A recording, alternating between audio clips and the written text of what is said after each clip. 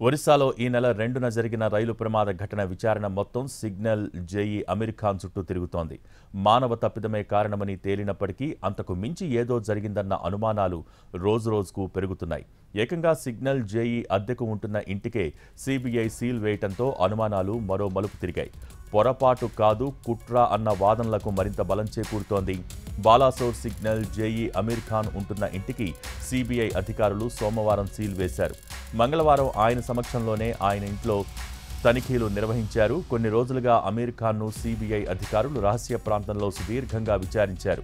అంతకుముందు Bahanaga railway station master ఇంటిని కూడా సిబిఐ అధికారులు పరిశీలించారు. పాయింట్ మిషన్లు ఇంటర్లాకింగ్ సిస్టమ్ సిగ్నల్ సహా సిగ్నలింగ్ పరికరాల ఇన్స్టలేషన్ నిర్వహణ మరమ్మత్తు విధులను జేఈ నిర్వహిస్తారు.